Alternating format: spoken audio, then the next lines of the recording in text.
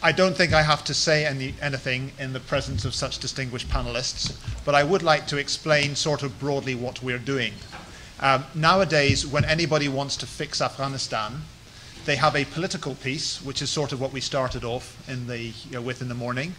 Uh, they have a, a, security piece. We sort of uh, touched on that.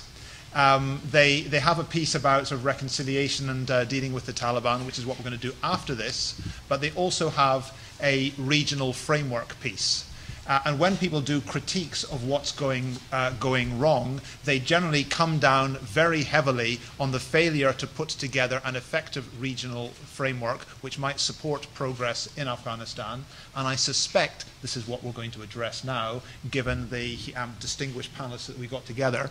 Uh, we're going to start off with the home team which is um, Hassan Abbas, um, and I'm just going to leave it to uh, to everybody to come in with your with your uh, contribution to the regional piece, uh, 15 minutes each, um, and biting questions at the end.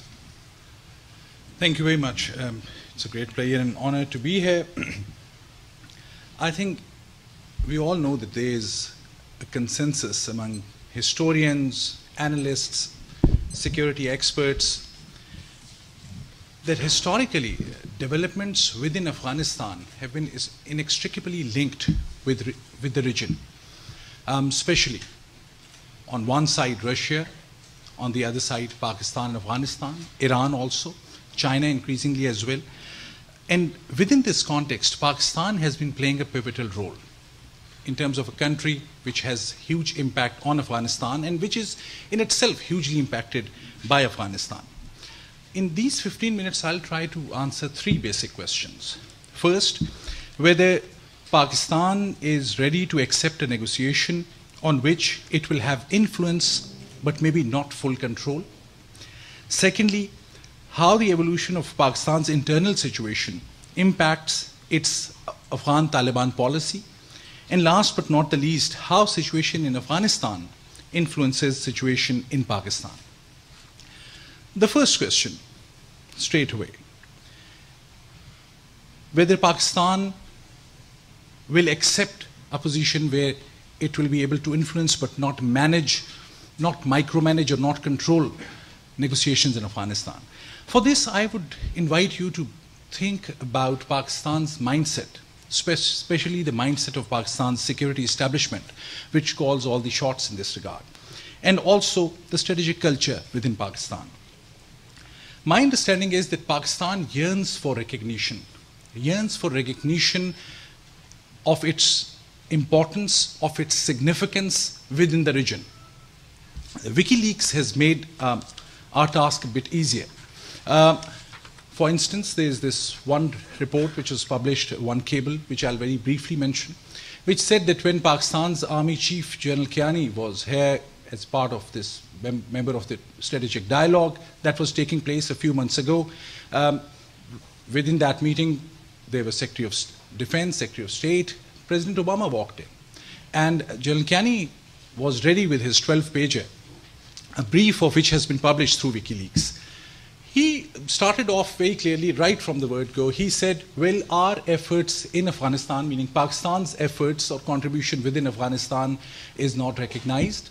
Uh, he said Pakistan's fight against extremists in federally administered tribal areas is not appreciated. He had a long list of his demands for Pakistan military. He also mentioned about Indian influence in Afghanistan. And it, it is no secret. Even without this WikiLeaks uh, revolution, we, we knew this.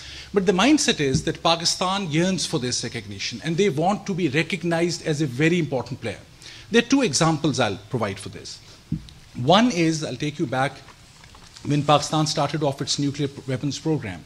Uh, and also the way they developed it, the way after the 1998 tests, Pakistan wanted that it should be recognized as a nuclear state. Uh, that, that is just one example. Secondly, from 2002 to 2003, um, Pakistan has consistently been saying, and this was also a well-known fact, though substantiated by the WikiLeaks, the fact was that Pakistan was always complaining that they have not been taken into confidence about what the US role and what the US plans are about Afghanistan. And um, in, in cables after cables and in various negotiations and conversations, the Pakistani leadership would always say this to the United States, well, we want to be your partners in knowing what is the actual plan. Now, the problem was that the United States itself was not aware what the plan was. But within Pakistan, it was seen as that there is some choreographed plan, there is some larger model which US is pursuing, there is a certain very clear objectives, and we are not taken into confidence. So this is again the mindset um, that Pakistan believes that its uh, complaints, its grievances have not been listened to. The second point uh, in this regard is whether Pakistan would accept a role which role where it is not completely managing the situation, negotiations. In that regard, I think there is now increasing recognition within the Pakistan's military infrastructure uh, that peaceful Afghanistan is a necessity for Pakistan not only to progress but even to survive. Uh, yes, these recognitions take time to be converted into policy. It is not that just one fine morning you uh, realize about something, whether it is about uh, personal human relationships or whether it's about policy. Even when you recognize that a certain mistake was committed or whether a certain new direction is needed, it takes time. And in countries like Pakistan, where there's dysfunction between different institutions, eh, it is more obvious. So I think, yes, if Pakistan is seen or accepted or, or projected even within the negotiations as a very important stakeholder, they will play a role. Yes, they want to su support um, people like uh, Haqqani and some other groups, but it also needs to be recognized that they are fighting many other uh, militant groups in Bajaur, in Orakzai agency, in the federally administered tribal areas. I'll come back to this issue later as well. The second uh, question about how evolution of the internal situation in Pakistan influences Pakistan's policy. Here also, I will again um, refer you to, uh, to the history. My argument is that whenever there was political instability in Pakistan, at that moment, its foreign policy objectives and its foreign policy um, mechanisms were completely dysfunctional. Example again I have in mind is the nuclear proliferation issues related to Pakistan. Pakistan's relationship with Libya, North Korea, and Iran. Um, I would argue there were six different small, there can be six different small case studies where Pakistan helped Iran twice, twice to North Korea, twice Libya. All those six episodes happened at a time when the civil military tension was at its peak, when uh, political instability was rising. So the argument is that if there is more political instability in Pakistan, the decision-making processes will become, become more blurred. From 2007 to 2010, the most critical period in, in Afghan policy, in, in developments within Afghanistan, we saw fall of Musharraf, we saw or observed a rise in terrorist um, operations within Pakistan, and we also witnessed transition to democracy. Whenever transition to democracy takes place, whether in Pakistan or in Indonesia or in, in any other country, um, no one is very clear who's making the decisions. Though within Pakistan, it's Pakistan military, which, which plays the most significant role when it comes to decisions about India and Afghanistan. At times of political instability and tussle, a few generals, maybe the chief of army staff, and a couple of other people call all the shots. So at this time, I would argue, Pakistan is coming out of that transition period where, of course, after Musharraf, transition to democracy is taking place. So, with the passage of time, there is increasing possibility that Pakistan's policy towards Afghanistan will be streamlined more. And unlike the previous decades, where it was only between military and uh, civilians, now there are other important, powerful institutions which are calling the shots. Pakistan's judiciary, Pakistan's media. So there's every possibility that if this transition to democracy survives, and if you want to know anything more about this political instability and transition, again, look at the last um, three days of New York Times and, and, see what the US ambassador was saying about uh, political tussles within Pakistan. Now coming to the last point uh, about impact of Afghanistan on Pakistan. I think it's huge it is huge in social terms, it is huge in political terms, in economic terms as well. Uh, but what we often miss in all of this is that we often look at Pakistan's strategy toward Afghanistan from the lens of Pakistan military. Whereas um, a lot changed uh, within the Pashtun community, which lives in federally administered tribal areas in Pakistan's northwest, Pakistan's Khyber Pakhtunkhwa province. Those changes, those transitions um, have played havoc in Pakistan. And there is a civil society response to that as well. The, the people, the Pashtuns also matter hugely. Uh, Pakistan army can call the shots, but there are these civil society actors, there's this public opinion that also plays a significant role. So in this larger picture, there are two or three things um, I think that we have uh, missed in terms of uh, political analysis, in terms of international community, um, which is that Pakistan's capacity, that we generally believe to be the case, Pakistan's capacity to influence negotiations in Taliban, that is highly exaggerated. Um, I doubt very much, and I know this is a controversial point and this is open for discussion, uh, whether really Mullah Umar is the one who's calling all the shots, even if he's in Quetta or in Karachi or maybe in Islamabad, whether he's the one uh, who is leading this one hierarchical model where he is calling all the shots. Again, I refer to this um, new revelation. Um, the intelligence chief of, of, Afghanistan, Mr. Swaleh or Saleh, um, in a 2009 cable, he said that the Pakistani military had reached out to the Afghan intelligence saying, this is exactly, I'm quoting from this cable, which is um, very credible and authentic. No one has challenged that.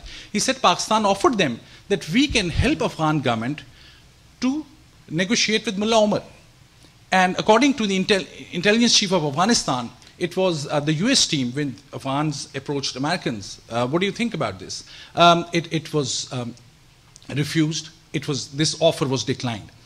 Again, the point, I would argue, even if Pakistan is allowed to play the role of a bridge builder between Quetta Shura or Karachi Shura, whatever label we want to give it, whether that will really make a difference within Afghanistan um, I know other speakers have talked about and will talk about more about internal divisions in Afghanistan or the corruption or the lack of governance or um, lack of preparation in the Afghan military and the police.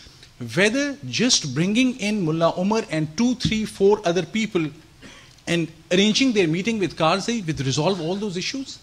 Very unlikely. One model which, which we have totally forgotten about in this context is the model of uh, Geneva Accords. That was a time in 1989 when Soviet uh, Union's fall was imminent. That was the time when Pakistan's military, led by a military dictator, General Ziaul Haq, was absolutely against having any negotiated deal with the former Soviet Union. Despite that, the prime minister of the times, Mr. Junejo, who was a person who was handpicked by, by Zia, he, along with his um, team, his foreign minister, signed um, Geneva Accords against the will of General Ziaul Haq. The argument I'm making here is that if there is a regional model, if United Nations is involved, then there is much more likelihood that Pakistan will sign on to a peace proposal, to a peace project, irrespective of whether Pakistan military or its leadership is completely on board or not.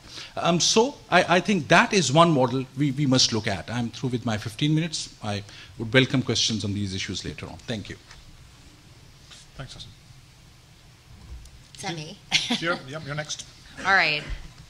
I'm going to talk about India and Afghanistan. I think most of us understand that India's activities in Afghanistan are in significant measure uh, driving the uh, shenanigans that, that Pakistan has been engaging in and which have been discussed throughout the morning. So I'm going to talk about India and what its interests are in Afghanistan. In the same way that it's important to understand Pakistan's strategic interests, I think we also have to understand India's strategic interests.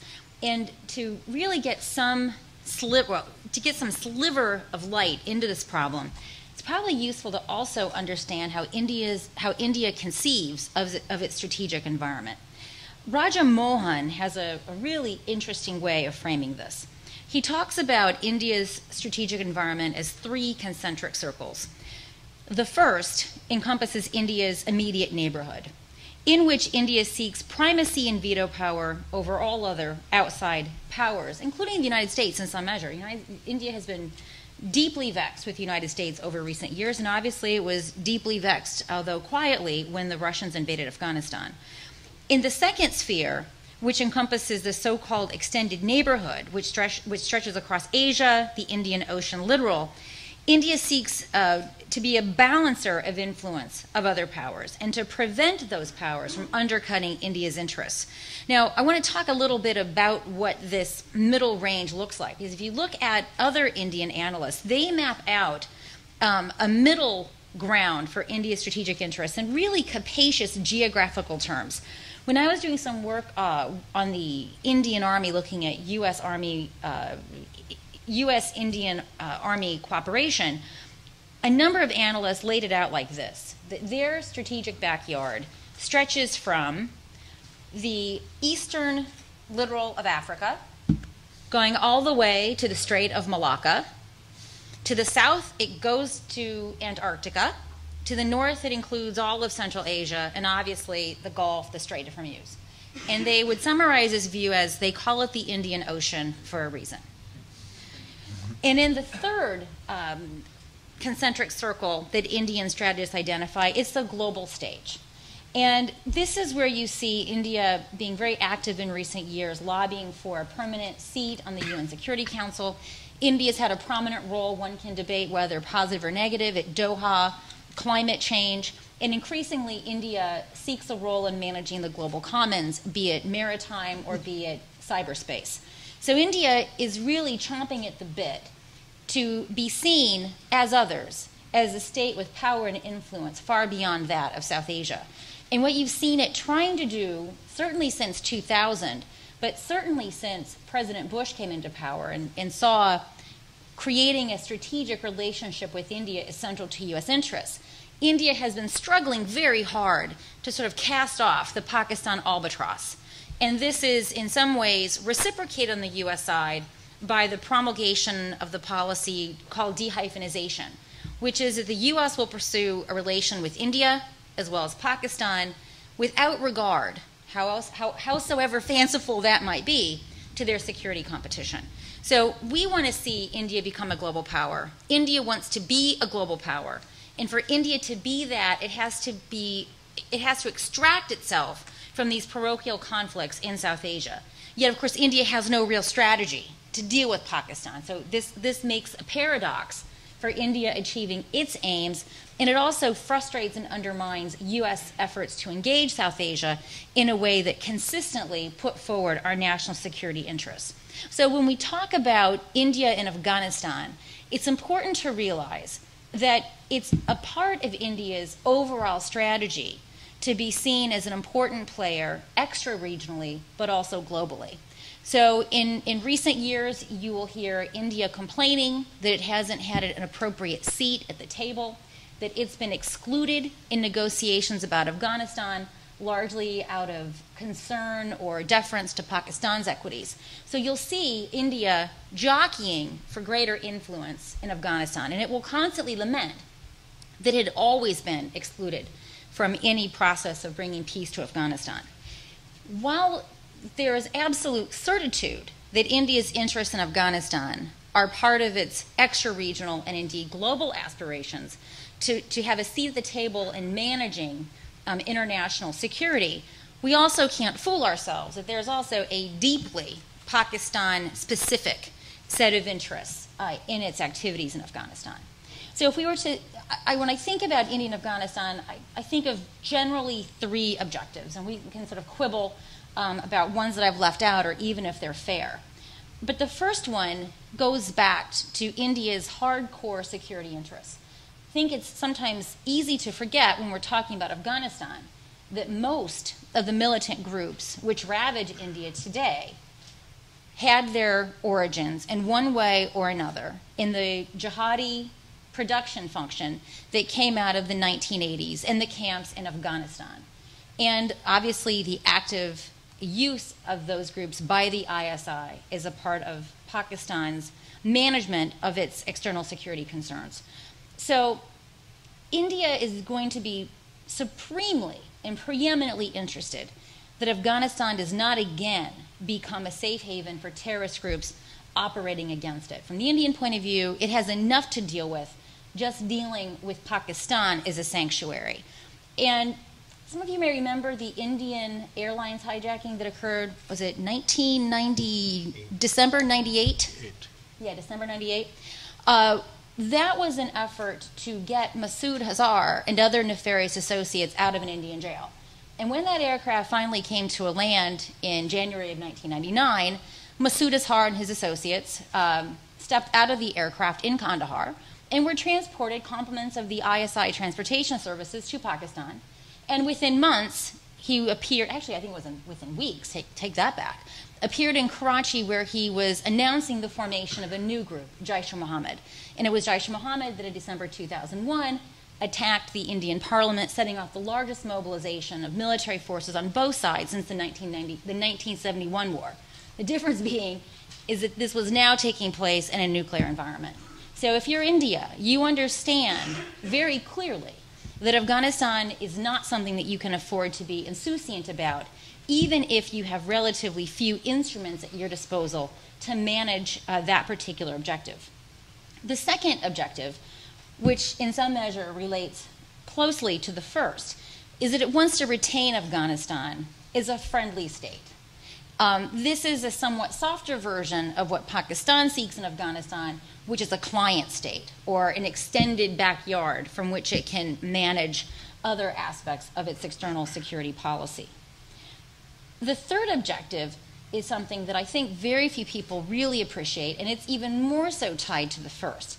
And that is the impact on India's domestic policies coming out of what happens in Afghanistan. So, for those of you that know stuff about India, you have a very unpleasant synergy that has developed in recent years. On the one hand, you have a robust, thriving Hindu nationalism with an increasingly nasty militant offshoot. They are growing in response synergistically to an evolving domestic Islamist terrorism problem in India that has absolutely nothing to do with Kashmir. It has a lot more to do with how much it sucks to be a Muslim in India.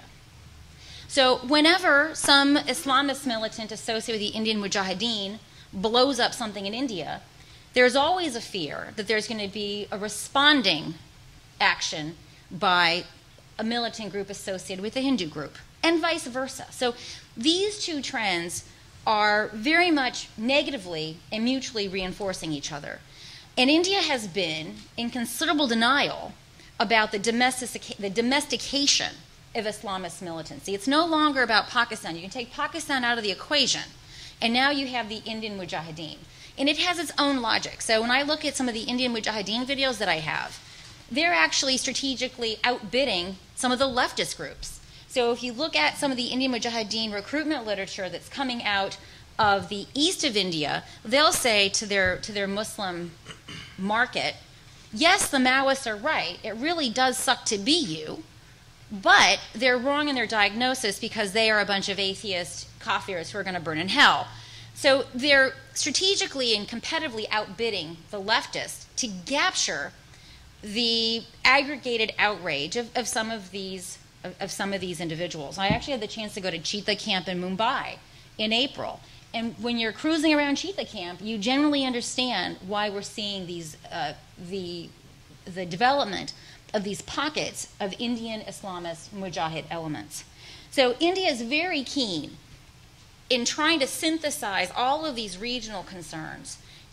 Yet it's ultimately constrained by, by the fact that it doesn't have a tremendous number of tools uh, in the box to achieve these very capacious goals. Now, India has is not new to Afghanistan. I think when, when Pakistanis, and I'm sympathetic to their claims, but when Pakistan talks about the mushrooming consulates, they, they give the impression that somehow India's presence in Afghanistan is new. And of course, that's not true at all. Um, India signed a friendship treaty with Afghanistan in 1950. It, uh, during King Zahir Shah's period, had hundreds of advisors. In fact, Pakistan is very fearful um, when it looks around and it sees all of the Indians that are presently in the Karzai government in a variety of capacities, even though different organizations might be paying their check. So Pakistan wants to be sure that there's not a return to the time of Zahir Shah when India was, was basically in the back in, in Pakistan's narrative running the show or helping Zahir Shah run a show in a way that was detrimental to Pakistan's interest. During the 1980s, India was, you would have thought, India would have been marginalized as Afghanistan and as Saudi Arabia, uh, of course with US money, uh, were running the show in Afghanistan. But it's actually surprising. During the anti Soviet jihad, India actually expanded its development activities. And this should give you some sense of the tenacity with which India views uh, its, its goals and objectives in Afghanistan, how important they are. As you know, after the, uh, the Soviet jihad ended and we entered uh, the warlord period, at the same time we had the dissolution of the Soviet Union and all the Central Asian republics opened up. Pakistan and Afghanistan also began jockeying for influence in that region. Both of them largely failed, albeit for reasons that were quite different. Neither of them managed to achieve the, the sort of depth and political clout that they wanted to achieve in that area. After the Taliban's consolidation of power, India still did not let go.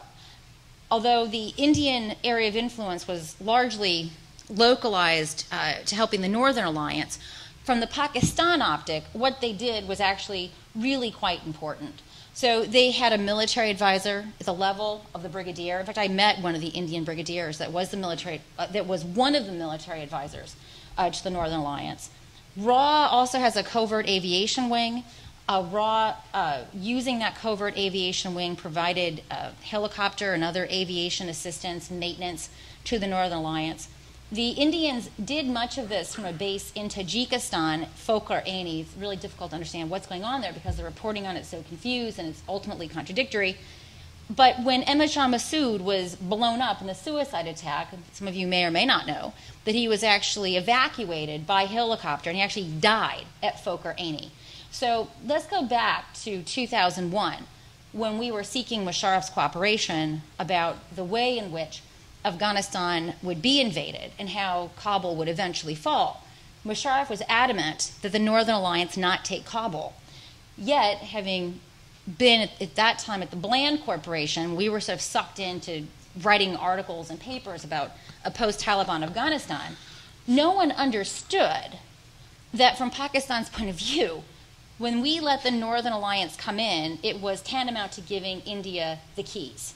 No one adequately understood that from Pakistan's optic, the Northern Alliance was an Indian proxy. So when Kabul fell, thanks to the Northern Alliance, it was basically Indian proxies defeating that of Pakistan. And I, I, I think I, I have convinced myself over the years that that was probably one of the most important strategic errors and a concatenation of errors that has largely brought about the Pakistan position on Afghanistan with which we are trying to deal today and, and as a matter of fact, which make it almost impossible to change in any significant way Pakistan's cost benefit calculus. Since 2001, under our security umbrella, because India, like many countries, is a free rider under our security umbrella, India has been able to establish a number of what it will call development projects. India is very proud of the large amount of resources it has put into Afghanistan. But some of the things that India has done have, have not actually been all that helpful from the point of view of regional stability. So globally, what India has done might have been helpful for Afghans. But in terms of antagonizing some of the regional dynamics that are and have been at play, some of the things have been less helpful. In fact, ultimately, Karzai is responsible. So uh, for, for being unable to manage these relationships more, more aptly. One of the most interesting things, of course, uh, was building um, a part of the ring road in the south with the Border Roads Organization. For those of you who don't know what the Border Roads Organization is, I guess the best similarity might be to compare it to the um, Army Corps of Engineers. If you go to their website, they describe themselves as being um, a strategic arm of the Indian Army. So the Pakistanis are not crazy when they say that you know there's an Indian military presence in Afghanistan. It's especially not crazy when you look at the fact that the civilian contractors building the ring road under the Border Roads Organization, when they came under attack, India's response was to bring the Indo Tibetan police force. Supplemented with army commandos. I know this because I also met an Indian brigadier who told me how they were squeezing in army commandos under the guise of the Indo Tibetan police force. The other thing that India has done, which has been problematic from Pakistan's point of view, is its cooperation with Iran. So, Iran is again part of India's larger strategy to be an extra regional player. Iran is absolutely pivotal to India's ability to operate in Afghanistan for the obvious reason that Pakistan won't let it through.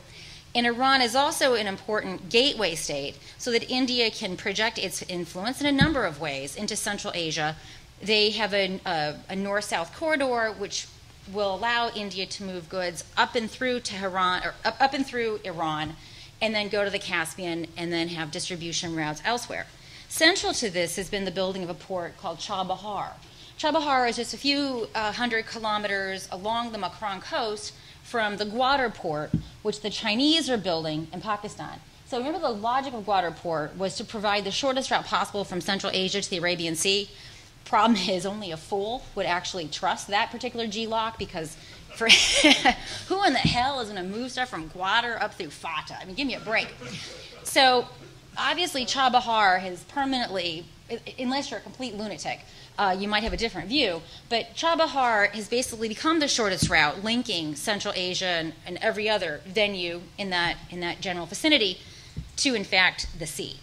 So this has been very frustrating for Pakistan because they also believe that the Iranians and the Indians are up to military nonsense in Chabahar. And there's some evidence for this because you know, there has been some Indian naval activity going on at Chabahar. So if you're Pakistan, just sort of, I like to say, let's put our Pakistan goggles on so you look to the you look to Iran and you see a strategic relationship with India developing that's endured some pretty crazy stuff. And you know, let's put this into context. India has managed excellent relations with the United States, Israel, and Iran simultaneously, even against the backdrop of, of Iran massively trying to aspire to the proliferation benchmark set by Pakistan. Then you have India's presence in Afghanistan, which you know I've been talking about the last 10 minutes. You don't need to rehearse that. Um, even India's relationship with China is slowly but surely changing as China begins to appreciate and has begun to appreciate the problems that Pakistan's internal as well as external uh, policies pose to, to China. So if you're Pakistan, your world looks pretty nastier, and it gets nastier with every passing month.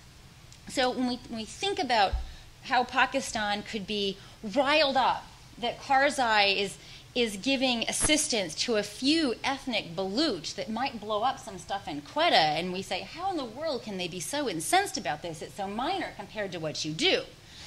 When you put it from the point of view of the Pakistani state and the ISI, you see it's a, it's, it's a much bigger pitch, picture than Karzai just giving, you know, some, uh, I don't know, some roops and some explosives and using the NDS in Kandahar to pass that on to Baluch nationalists.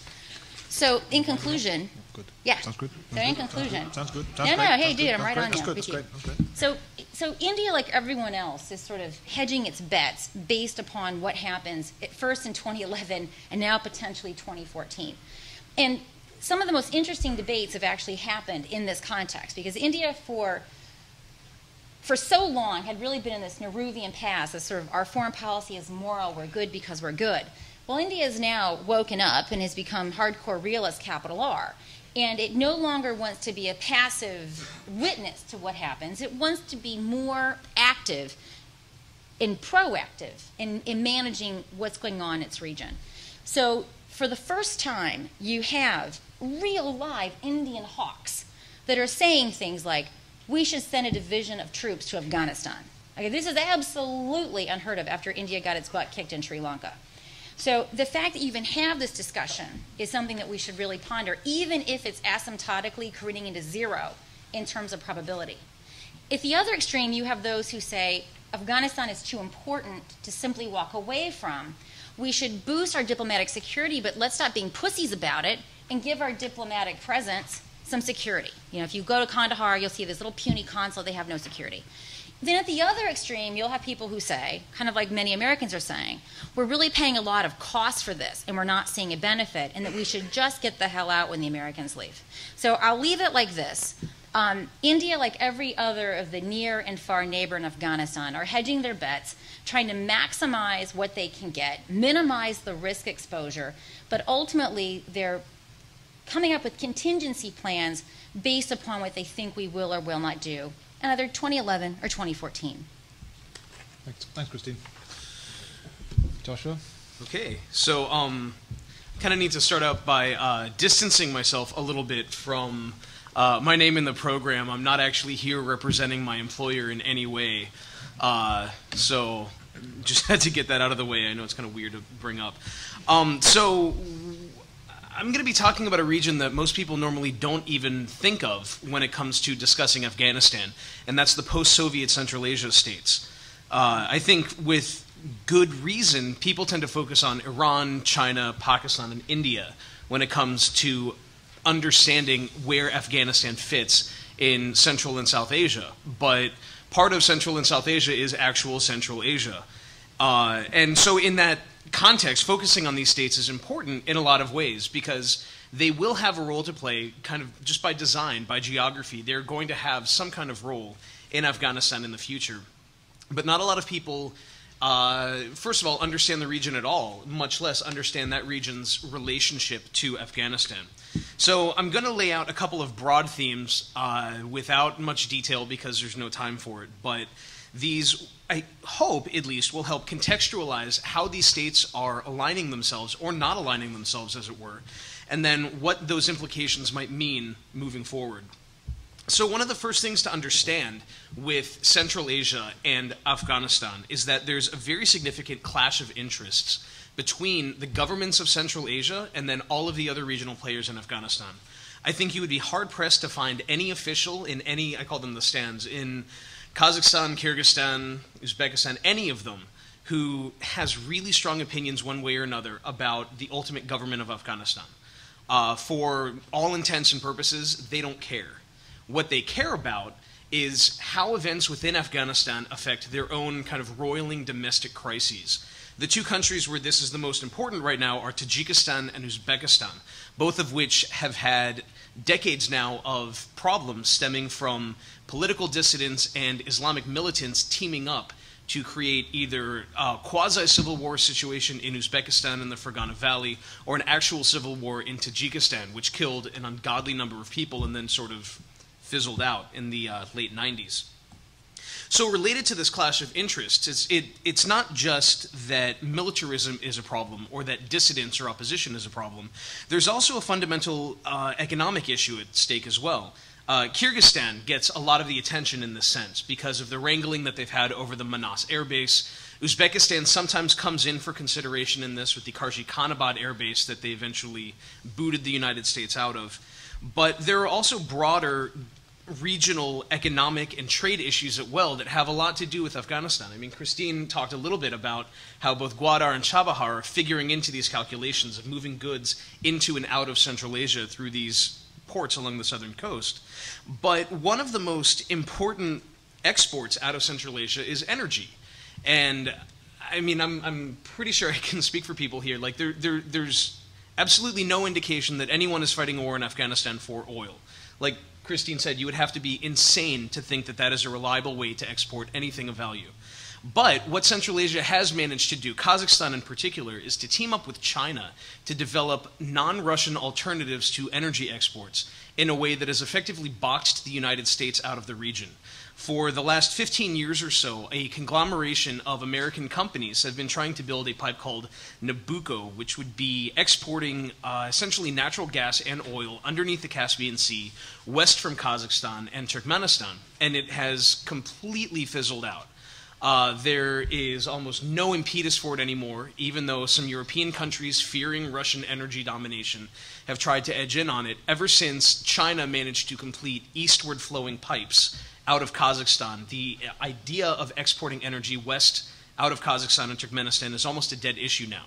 So what you see is, to a limited extent, and this is a very limited extent, because again, I don't see any evidence that Kazakhstan considers Afghanistan or as a proxy to that, American interests in the region as an overriding concern.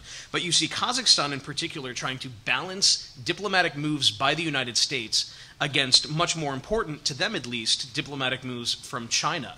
And it's turning into a very interesting and frankly complex balance of power arrangement in terms of how people are orienting themselves in the energy export market and then also in uh, trade export markets as well. So, into all of this mix, uh, kind of at the end of 2008, comes this thing called the Northern Distribution Network. And this is a series of bilateral transit agreements that the United States inked with both the governments of Central Asia and Russia, uh, and Georgia and Turkey, and I think Lithuania, and probably some other transit states to move supplies for the Afghanistan war from either the Baltic Sea or from the Black Sea across Russia and across Central Asia and into northern Afghanistan. This is essentially co opting the old supply lines that the Soviets used during their war. They're doing this in response to a series of ongoing attacks against supply con- convoys traveling from Karachi north into Afghanistan. So, this is their attempt to, uh, to adopt to a rapidly changing security environment within northwest Pakistan by essentially co opting the Soviet Union's old supply lines through Central Asia. Now, this has had several effects throughout the region, all of which factor into these countries' calculations about how they consider Afghanistan and how they plan their relationships with the different regional stakeholders within. Uh, related to Afghanistan. The biggest one is, I think at least, corruption. And this is something that no one inside Central Asia actually enjoys talking about very much. But as the NDN has come online, as you've seen this enormous growth in supplies transiting through Russia, in particular, you've also seen a growth in organized crime. And this was already a problem, in particular around Manas, where uh, the entire operations of that base are essentially run by gangs, by crime lords. The issue of crime in Kyrgyzstan has already led to the downfall, more or less, of two governments. It's rapidly destabilizing the current interim government over Rosa Otunbayeva, and there's no indication that the United States is willing to moderate its reliance on these criminal networks in order to supply both its bases and to operate the supply lines that move into Afghanistan. In addition, the NDN has also been an enormous uh, economic boon to the governor of Balkh province, a guy named uh, Nur Muhammad Atta. He, there, this is something else that no one really enjoys discussing publicly because he's not normally associated as a malign actor in northern Afghanistan. Uh, he is not particularly known for cooperating with anyone that we would consider to be an outright threat there. However, his family has mysteriously become outrageously wealthy the moment supplies began moving through Termez and being distributed from Mazar-e Sharif. So there is most likely some kind of flow of corrupt money or corrupt practices from this alliance of transit corridors that the United States negotiated in Central Asia and into northern Afghanistan. Uh, kind of flipping sides. So, what would what would the states in Central Asia kind of fear from Afghanistan? They've they're able to extract a great deal of money both from the United States, China, and Russia uh, for transit agreements. But what would they actually fear from the area? The biggest issue would be internal revolt or internal dissidence. There's a number of stories. I, I, I'm not sure why there's a cluster of them right now, but in, in several magazines and newspapers, there's been an uptick in uh, stories about Islamism in Tajikistan. And there is a lot of speculation now that this is an outflow from Taliban militants escaping the super successful war in Afghanistan and relocating into Tajikistan and destabilizing elements there. And there's some there's some evidence that there's cooperation between militant groups in these areas, but there's absolutely no evidence whatsoever to support that this is an expansion of the Taliban's area of influence, that these militants operating in Tajikistan have ambitions even for anything other than uh, gaining autonomy to run their old corrupt criminal networks again. But this is a concern. Uh, around this time last year, uh, surprisingly high-paced, high-placed U.S. official actually told me that he was, in his words, scared shitless by what's happening in central Tajikistan. And he was saying this because of a single firefight in which three Tajik police officers got killed and about 20 gangsters got killed. And I mean, it, it's it's significant. That's a big deal. But there's no reason to assume that the end of the world is happening. But because some of these people used to be associated with Tajikistan's Islamist parties, and because some of them have purchased opium or transited opium for criminals who may or may not have had ties to certain Taliban commanders, this is now evidence of some pan-regional Islamist movement or something. Uh, I don't think that's really a fair characterization of what's going on for the most part, in Tajikistan, uh, resistance carries the rhetoric of Islamism, but in action and even in beliefs of most individual fighters, there's almost no evidence that these people use Islamism or use a Taliban like ideology to push what they do. You see a lot of the same thing in Uzbekistan as well. Uzbeks are kind of, Uzbeks and Chechens are kind of the boogeymen of Central Asia. Uh, whenever you want to talk about someone scary, uh, you either call them a Chechen or call them an Uzbek. Uh, and I mean, for the Uzbeks, there's a, a, somewhat accurate reason for doing this. One of the more infamous Islamist networks in the area is the Islamic movement of Uzbekistan, which was originally organized as a resistance movement against Islam Karimov's government in the uh, mid 90s. The challenge with using these as this canard for explaining why magical bad things happen is that they don't really do a whole lot. Uh, one of the major groups that uh, groups like the, the Jamestown Foundation write about as the significant global players in uh, jihad is the Islamic Jihad Union, which is an, off, an offshoot of the Islamic movement of Uzbekistan. And near as I can tell, the only thing that they may have done is set off a bomb in Tashkent in 2004. And other than that, they're rumored to be headquartered somewhere in the federally administered tribal areas of Pakistan. Occasionally, they're uh, members who are either German or Turkish citizens who speak Turkish and none of the local languages are arrested in places like Germany for doing things. But there's no real tie into these areas, but they still dominate a lot of the official and policy discussions of Central Asian militia groups operating in Afghanistan and in Pakistan and serving these destabilizing functions. But again, there's very little evidence that they actually do anything beyond say really mean things on the internet about Jews and Afghans. So I mean, in, in, a lot of ways, I, I, guess kind of the theme that I'm pulling out of this is there's a lot of fear mongering about the negative influences that either Central Asia can be having on Afghanistan or that activities and movements within Afghanistan can be having on Central Asia, but there's no there's no evidence that this is actually happening on a level beyond people talking about it. And talk does have value, but it really doesn't have all that much value at the end of the day. Uh, lastly, one of the things that, that I want to mention with all of this is that when when we talk about these issues and we talk about the problem that Islamic resistance movements play, that different uh, un- politically unpopular trade agreements pay, play or that energy export routes play is that there are very structural, almost foundational explanations for why this happens.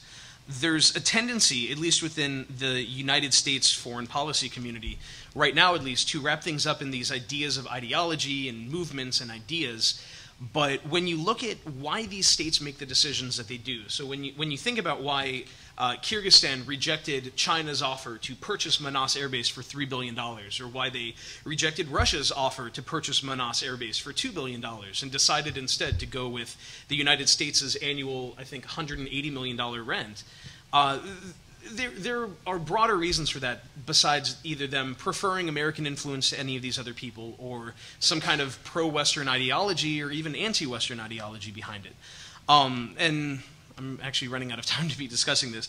Uh, you can see the same thing with Tajikistan. So, say why Rahmon's government doesn't take a more aggressive stance against these people operating in the Rasht Valley. Uh, frankly, they don't pose much of a threat to his regime. He's, he's very, I mean, I think this is a common element both in India and in Pakistan that they're, they're eager to use American largesse to fight battles that they want to fight. But ultimately, if they don't have much of a stake in the matter, they're not really going to fight them to completion. I think you see this definitely in Uzbekistan and in Tajikistan, where these governments essentially abuse American uh, gullibility. Well, uh, I should probably rephrase that. If uh, if if a government official in Uzbekistan or in Tajikistan screams Islamism loudly enough, they will get essentially an unlimited blank check to go address the problem. And you see this pattern repeated all the time, almost on a yearly basis, whenever each government is facing a domestic concern that they feel they can't face, or if they're facing a cash shortfall because they've accidentally stolen too much money into their Swiss bank accounts, they immediately cry out Islamism, or you very conveniently see a bombing go off somewhere that doesn't affect the government in any way and doesn't do anything beyond create a news bite on the BBC. And then suddenly they're getting checks for millions of dollars and promises of security assistance from the United States. So I guess I'll leave kind of that embarrassingly bad picture of what the region was like, uh, and we can, I guess, talk about it more in questions. Thanks, Joshua. We got um, uh, we got half an hour, and I guess you finally came onto the common theme that um, sort of uh, cuts across the, the region that we've been looking at. Um, the uh, willingness to uh, to cry the Islamic uh, the Islamic threat is undermining us. Help, please. Um, uh, we got half an hour. I think the I think the format earlier on worked best of having three at a time. Uh, anybody want to come, uh, come up with your questions? Yeah, please go ahead.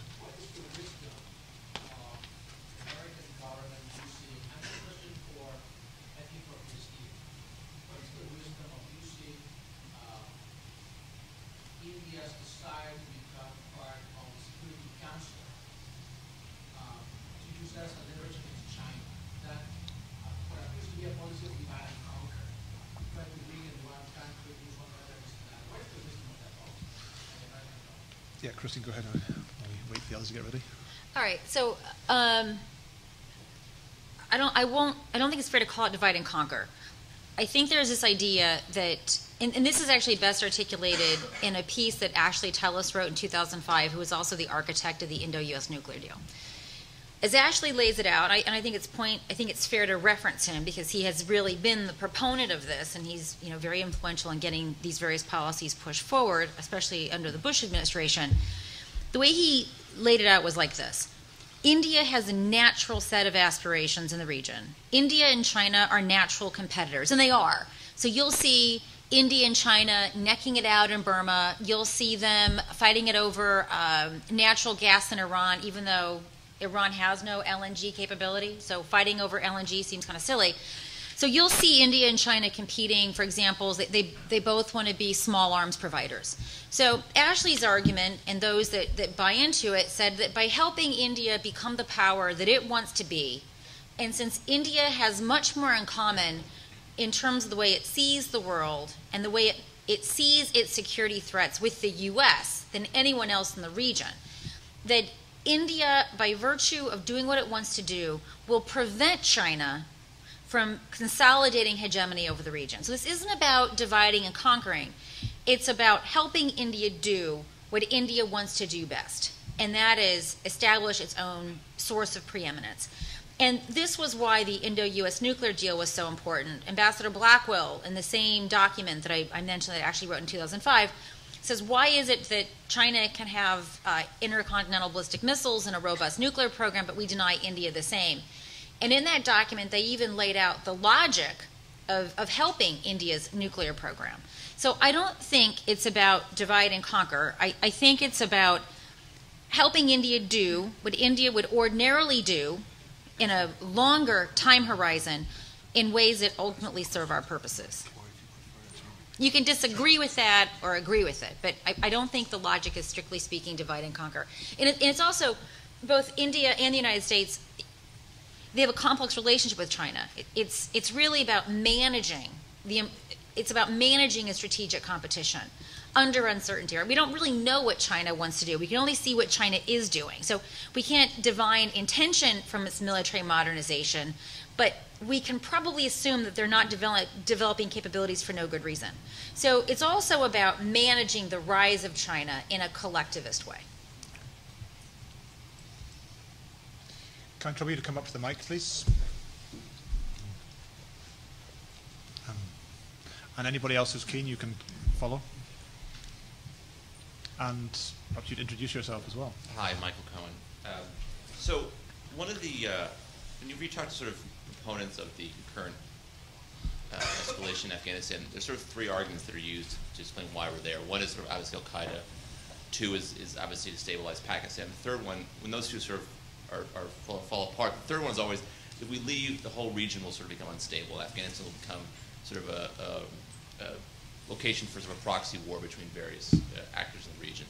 And I guess the, the question I'm, I'm curious to hear is, is how realistic is that notion that if we leave, the sort of the, whole region will fall apart, Afghanistan will become the, the focal point of this proxy war, and even if that is a threat, what should the U.S. be doing to prepare against that possibility?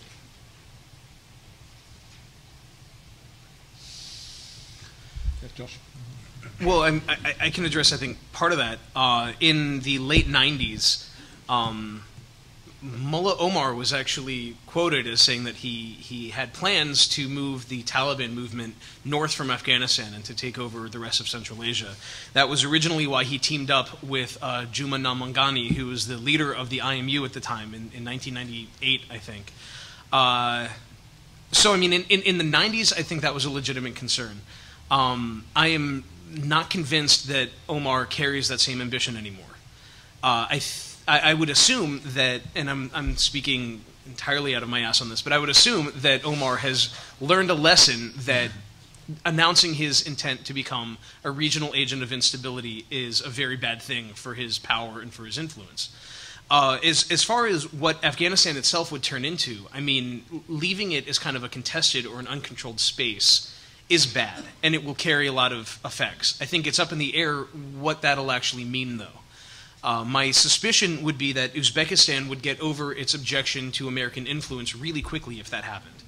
Uh, if you were to listen to people like Fred Starr uh, from SAIS, he would actually say that one of the new reasons to be in Afghanistan is to pave it so that we can use Central Asia to transit goods to the Arabian Sea and have a grand mercantilist empire and be prosperous again. So, I mean, th- there's there's a lot of I, I think you're getting at something in that there's a great deal of ambiguity of what actually will happen or what real justifications are in that context for staying there. But I mean, it's a cop out, but I don't really have an answer beyond that. Hassan, I think you're coming in. There? Yes. I would argue that, in fact, uh, one of the three things that you mentioned, um, that one of the objectives is of U.S. presence there is to stabilize Pakistan. Um, actually, that has not happened, and that was not expected to happen. Um, look at the history of the region since 2001. Um, number one, from Pakistan's internal point of view, Musharraf, a military dictator, got a new lease of life. Um, secondly, uh, the militants in Pakistan of various kinds, Lashkar-e-Taiba and Jaish Muhammad, those who focus on Kashmir on one side, and Afghan uh, Taliban or Pakistani Taliban, especially uh, with the combination, getting support from all the other places from within Pakistan, as a second uh, militant uh, uh, reality, they got more entrenched, um, they got more aggressive, their logistical support improved, their coordination, their linkages between the Pakistani militant groups increased. So this has not improved Pakistan's stability, nor it will. Um, I will also argue that this analysis has nothing to do with the scenario in Afghanistan today, that yes, if US leaves it completely, um, there will be more crisis, but purely uh, from looking from Pakistan's lens, I think the Pakistani Taliban uh, then will start moving towards Afghanistan.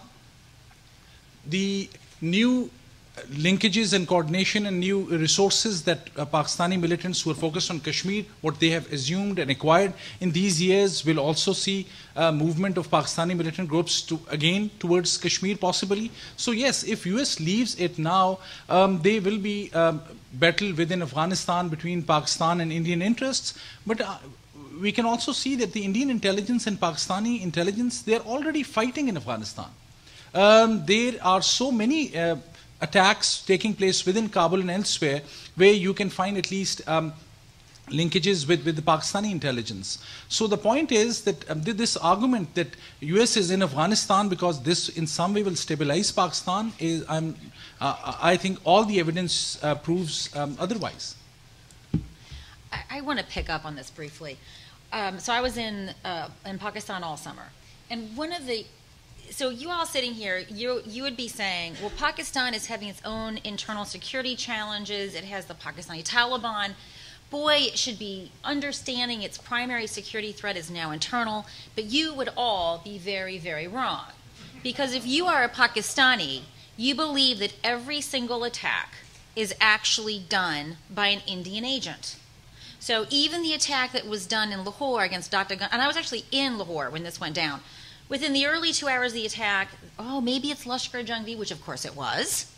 But by the end of the day, the ISI PSYOP campaign had already filtered out, and by the end of the day, everyone believed it was India. So here's actually the perversion. Not only is Hassan Abbas right, because of what we did in Afghanistan and how we did it, and the way in which we had the Pakistanis engage, despite the fact that they were just as clueless about FATA as we were, and it spawned a greater domestic challenge for Pakistan, it actually reinforces their narrative that their biggest threat is conventional in India. It actually has not motivated them in any way, shape, or form. And those of you who think that the Army is going to reorient to a counterinsurgency pot, I would like to know what you're smoking and please pass them at dinner. Because what they have concluded from this, it, this is a further verification of an external threat, which gives ever more justification for the continued accumulation of a military buildup against India. It is, and it's so detrimental not only between the AfPak situation, but in terms of the entire regional balance and the way a deeply dissatisfied anti-status quo state with nuclear weapons is going to deal with its neighborhood. It's not a pretty picture. Michael, if I'll just add one thing to it. Final While, point, while, while, you, while you warm up, get ready for this really, really tough question. Right there. While agreeing uh, with Christine, I'll just add that recently there has been this much transition that I would say there are three major groups in Pakistan and the, the way they interpret what is happening within Pakistan. One group certainly thinks that everything is coming from India. There's no doubt. But I think the support uh, of that group is declining. Secondly, there's a group which has now increasingly think that uh, what is happening in Pakistan is a product of Pakistan's own mistakes and blunders and, uh, uh, and um, so many of the inadequacies. This group support is increasing. There's a third group which blames everything or most of these attacks on Blackwater and on United States. On us. Okay, would you like to introduce yourself, please? Yeah, Todd Greentree, I introduce myself. um, the, um, so I, I've become convinced that the, the central, one of the central issues here that we're dealing with, whether it's Afghanistan, our relations with India, uh, whether what our role is with Pakistan, is that the, the U.S. Um, has, frankly has not come to grips with the question of whether we're serious about this part of the world or not. Um, and, and that's why we bounce between these alternatives of you know, committing 100,000 troops plus or going to the Biden option. Um, I'd say if we're serious, then let's get serious. That's what, what this discussion hovers around. Um, and if we're gonna, if we're not going to be, let's pull out and then be prepared to pay the consequences because there will be consequences to pay. So, uh, sort of with that, let me uh, invite your speculation about what it might really mean for the, the United States and then all the alliance implications it implies to take this region seriously. What would a global security architecture look like?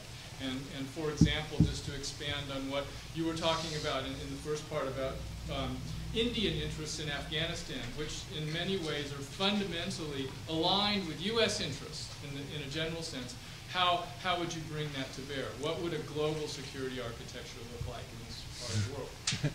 In uh, 15 seconds? Well, Go ahead. I, I, I think you could actually start that by looking north. Uh, this year, we have seen the return of Russian troops to Afghanistan. Uh, and that's part of this reset that happened under the Obama administration, was trying to rebuild our relationship with Russia that uh, had more or less fallen apart over the war in Georgia. Uh, but what you see there, by and large, is America abdicating its role, at least in the northern section of this region. Uh, what I mentioned earlier about several western facing energy routes essentially falling off the table, I, I think that's part of it. Um, it took, I think, uh, either close to a year or well over a year to nominate a an ambassador to Azerbaijan. Uh, there had been an empty slot for a special State Department representative for Central Asia for I forgot how long. Uh, it just was never a priority for either the Bush or the Obama administrations to take at least Central Asia itself seriously. And when you take a region that has three states that compri- comprise the northern part of a war that you're sinking $100 billion a year into, when you just don't take that seriously, I think that might speak towards a larger issue that the region itself has very little long term, er, at least people think the region has very little long term strategic value. I would just add very briefly when you have mentioned global security structure. Um, I think all the various options have been tested um, though we are not sure about the intricacies or details of each of those. But in the last 10 years, and even previous to that, uh, in the 10 years when we left Afghanistan to, its, uh, to, to, to, the region, we saw what happened. Now US has attempted, 10 years is a long period. United States has really uh, used all its analysis, all, it, all its money, whether it was military surge or it was development money. Various things have been attempted. I think, that, frankly, uh, we, we must admit uh, most of those or almost all of those failed. I think if there has to be a global security um, formula or structure, which there should be, because Afghanistan is not a lost cause by any, um, by, uh, by any stretch of imagination. But for this global security uh, structure, we need United Nations. More countries. What will be the uh, one consequence of that? You will be able to say to Pakistan or to Central Asia or to India that this was what was decided upon. Any country which there will be evidence has not abided by the uh, final decisions of a UN body, they, the carrots and sticks should be used. You can go for your, uh, sanctions also. So there has to be a global consensus. Um, what is the, after all, the purpose of United Nations? Uh, I got a couple of thoughts too on this. First of all, word, but we would have a problem because India has pretty much given the, the middle finger to several UN Security Council resolutions, as has Israel. So um, I would love a world that looked like that. But I, I also think that we are, um, at, let me put something, maybe we're just the limits of our national power, given the way in which we're organized. When I think about the problems that are embedded in South Asia, from the military side, we obviously have the theme of the combatant commands. And at first blush, this looks like CENTCOM versus PACOM. So if you're PACOM, you're dealing with Lashkar-e-Taiba throughout your entire theater, be it in India, the Maldives, Sri Lanka, Nepal, Tibet, any place it can go, Thailand. And I'm not really exaggerating about those venues. And if you're PACOM, you see that your interests are harmed, but yet you can't do a damn thing about it because the origins of this problem are in CENTCOM. And CENTCOM isn't going to do anything to piss off Pakistan, which will affect the GLOC. So already, if you just think about the seam problem, uh, between the combatant commands, but, but in reality it's much more complicated than that because you should also have SOCOM involved and you should also have EUCOM involved because these groups actually have roots in Europe. So when you think about the way in which our combatant command structures are set up, you realize that we really have no way of generally integrating across the global space in which these, uh, these uh, groups are operating. And our interagency pro process has largely failed to deal with these issues if you think about the State Department, we technically now, with reorganization of state, should be dealing with South Asia and Central Asia, but the actual DASs themselves are vertically integrated, and you don't want to piss in any one of their bathtubs because it's it's completely predatory and, and concerned to be you know fenced off terrain. And what I find interesting when we look at India, so when India says it's called the Indian Ocean for a reason, what you immediately realize is that not a single one of our government agencies has a policy lens that views the world in the way in which India does. So India has a look east policy, it has a Southwest Asia policy, it has a Central Asia policy, it has an Africa policy. So we have no way within our various interagency processes to synthesize a worldview that can replicate how India sees the world. So I don't really understand how, how the way in which we are organized, the way we organize our, our national security affairs, how we can manage this.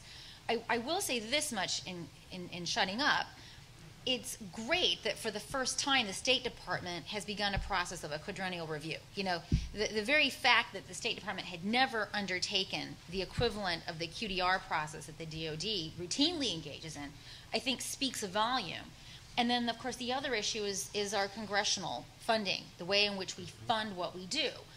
We can talk about a long-term plan to stabilize a country, but in fact, we can't, no president, no secretary of state can guarantee that because at the end of the day, it comes down to the vicissitudes of the Congress and whether or not the administration can persuade them to do this. So maybe we're simply at the limits of our national power to do the things that you suggest.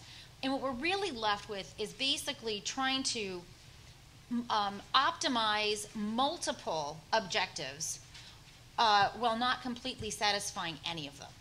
Maybe this is a joint optimization problem. Thanks. Can we take the next question as a cluster? So hold off on the answers. We're going to gather the questions. Introduce yourself, please. Hi, Saptarsi, second year student at SIPA. Uh, you've discussed how uh, when Indian influence is high in Afghanistan, Pakistan influence is pretty low, and vice versa, and uh, they're kind of unbalanced at all times. Is there a general framework in which you see that both nation, India and Pakistan, would be happy with a scenario in Afghanistan? Or do you see that the inability for both countries to resolve the conflict in Kashmir uh, as always an albatross to any to disallowing India and Pakistan to agree on any issue anywhere. Thank you. Thanks, Sitar. Randy, you. This is kind of uh, for you, Christine. The, uh, your discussion on India was illuminating. Um, My question is, is uh, what do you think the minimum conditions need to look like in Afghanistan? Um, Some of the things you talked about, two of the objectives to their national security for India related back to Afghanistan. So if that's the case and pulling out would cause regional instability, how do you think we should leave it? What are the minimum objectives that you think we should leave there? Thanks. Hi, I'm Priya. I'm a second year student. Um, my question is for U.S. policymakers after the strategic dialogue that took place this year. What do you think is the strategy towards Pakistan in terms of carrots and sticks, and is it time for more sticks? You want to come in as well? Hi, my name is Asif, and I'm from Rutgers. Um, I, I'm a Pakistani, and I don't always think it's India. Sometimes I think it's Bangladesh.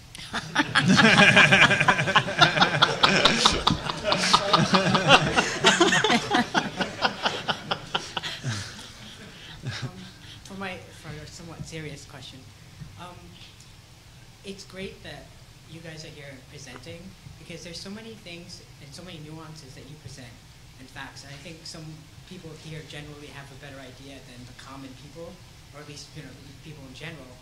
Why is it that the perception is is so like one-sided? It's like it's Pakistan's fault. It's it's you know it's black and white. Why is it that why isn't the regular public seeing the the intricacies involved? I mean, and kind of like could you address the fact will Pakistan become a failed state? Is it is its nuclear program really in danger, or is it just conflated? And how, is it that you know Pakistan has such a horrible you know public relations? You know, if you could address that, and um, yeah, I'll step away. Okay, everybody gets uh, gets a bite at one of these. Who's ready? Josh, ready? Not me. They didn't ask me Yeah, any everybody's questions. ready. Come on, let's, you get that. Go on, go on. Start off with Josh on that side. Josh, you ready? I, I, I, I didn't get any questions about Central Asia. I- Okay, I good. think they can speak more knowledgeably about India and Pakistan. Um, many questions about Pakistan, as brief as I can be. Is there a US strategy for Pakistan? What we can garner from, from those strategic dialogue? Uh, I'm not sure. Um, the, the reason is that it appears that the effort on the part of US is to continue to engage Pakistan military. You'll often hear um, senior government officials in US, especially from Pentagon and the military side, saying, uh, well, a lot of this is happening because we lost touch with the Pakistan military in 1990s. So it appears more and more incentives and money for Pakistan army, a lot of diplomacy, uh, but only promises for democracy. But rhetorically, we often hear from President Obama, from Secretary Clinton, from elsewhere. Again, I again and again uh, refer to WikiLeaks because I think those are very insightful. Uh, there's often mention of this that we want to support Pakistan's democracy. Uh, but I have not seen any concrete, significant, profound, potent decisions on the part of the United States to support Pakistani democracy, frankly. So if the whole effort is to continue to engage military, if that was providing dividends, well and good. I hope it will provide dividends, uh, but, but I have not seen any, um, any such thing. Why Pakistan image is so uh, poor or pathetic? Um, I also have, uh, being a Pakistani American, uh, I sympathize with that point of view. Uh, but I think the, the kind of problems that Pakistan has faced primarily and principally are because of Pakistan's own failures. Having said that, it's hardly, it's just a 60 year old country. It will take time for transition. time and again, Pakistan's democratic forces um, have regained control. Uh, people always yearn for return to democracy. We have seen revival of uh, this active judiciary, um, which, which asks for rule of law. We have seen this media um, emergence. So there are positive signs as well. But at, at present, so much is happening in terms of negative trends, negative patterns that Pakistan just can't help. Um, I personally believe in terms of nuclear um, security, Pakistan's, I, I genuinely believe uh, Pakistan's nuclear program is now much more safe than before. And, and that's where one of the positive things has happened um, that is constantly said by, uh, by the US government officials as well. Thank you. I'm going to pick up on some of the Kashmir issues. So I have to say, nothing puts me more to sleep other than NyQuil than the mention of the word Kashmir. In part because it is um, it's used as a code word and it has no flesh on it. So let's first dispel any idea that Pakistan has any equities in Kashmir. I don't think it does. What we can say fairly clearly is that since 1947, Pakistan's involvement in Indian administered Kashmir has resulted in nothing but bloodshed and misery for Kashmiris. So when I taught at LUMS this summer, it was very shocking to my Pakistani students to hear that, in fact, when you go to Srinagar, the folks there can't stand you and they can't stand India. So you need to get over the idea that somehow your, your, your boys, your bache, are doing anything to help the cause of Kashmiris because they're not. And I could adumbrate this at length because what they've done in Kashmir is appalling. And it begins with eroding the traditional Sufi culture of Kashmir and supplanting it with this Wahhabist stuff that has nothing to do with being indigenously Muslim in Kashmir, all the way to more grotesque things like attacking women and disfiguring them, something that has no place. And it is completely coming from these external, these so-called mujahideen with their, their backers in Pakistan. That being said, India is largely responsible. If it wants to claim that these Kashmiris are its citizens, it has an obligation to treat them like citizens. And anyone who has been to Srinagar would find it very difficult to say that you would accept to live like this. My interactions with the Indian security forces in, in Kashmir have been absolutely appalling. I'm happy to talk about that at length. Um, if India wants to put an end to this, it needs a strategy to solve the conflict dyad, which is at its disposal, at its disposal, and that is New Delhi and that is Srinagar. India cannot simply say this is all due to Pakistan. It's absolute rubbish, it's absolute nonsense, and you need only look at the spread of the Indian Mujahideen throughout India to realize this. So I think we need to reframe Kashmir. That this is really about New Delhi dealing with its population in Srinagar. And there have been a number of credible polls at this point that says Kashmiris, and by the way, there are many Kashmirs. There are many Kashmiris. So we're really talking about the valley. There's been multiple rounds of ethnic cleansing. So folks in Ladakh have no love for Pakistan. They're more happy being with India. Folks in Jammu, because of ethnic cleansing, are happy being with India. So what we're really talking about is the valley of folks that says, to hell with both of you, may both of your houses burn down. So we really need to get off this whole, you know, this, this Kashmir jalopy. It, it, it doesn't take us anywhere going to this ties into the next issue, which is about Afghanistan. So Barnett Rubin, um, Ahmed Rashid, they've they have all made this argument that Afghanistan can be solved through Kashmir. I, I, hope my initial point should tell you that I think that's also fairly nonsensical. But actually, in extrema, while at first blush our interest in Afghanistan resemble that of India's more than that of Pakistan, we want the place to not be the home to uh, Sunni militants that destabilize the region in point of fact, the end state that will help us is not going to be the end state that India wants. You know, I've made my point clear that um, I'm with Biden on this, that having a large counterinsurgency footprint makes us more dependent upon Pakistan and are, are therefore more constrained in our ability to think about new carrots and new sticks. Um, so what might work for us, which is some accommodation with the Taliban, is not going to work for India. So at some point, there is going to be a zero-sum game. Maybe what would minimally suffice India is that if we could, could absolutely provide some ironclad assurance, perhaps through the use of drones and, and a sustained counterterrorism presence, that it's not going to be the Afghanistan of the 1990s that terrorized India.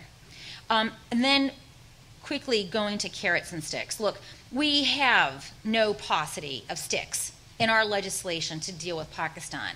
What we have is a paucity of scrotal fortitude to actually apply those sticks.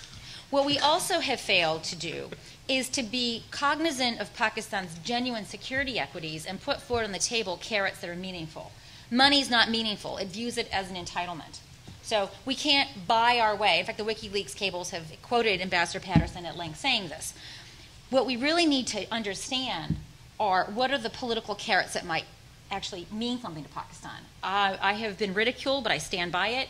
I think a conditions based nuclear, civilian nuclear deal should be put on the table. Why? Not because we want to reward them for proliferating, that's preposterous, because the Indo US nuke deal has taken six years, it still hasn't fructified. Yet putting it on the table creates space for negotiation with the Pakistanis, which is simply not possible when they believe we, with the Indians and the Israelis, want to bomb their nuclear facilities. So we need to not only develop the scroll of fortitude to apply the sticks, which are already embedded in our legislation, but we also need to create new and creative carrots that might actually appeal to the Pakistanis. And if in the end they give us the middle finger and say, Janum Jao, go to hell, then we will have clarified in our own interagency process what Pakistan is about. And it's not about, oh, we're just insecure because of India. And it will clarify in our interagency process that we need to stop hoping for the best with respect to Pakistan and actually start contingency planning for the reality that I think is probably waiting for us. Thanks. I think the um, yeah we I guess we'll leave to the next session um, how to rebrand Pakistan and um, thanks everybody. I think we've got a five minute break before coming back.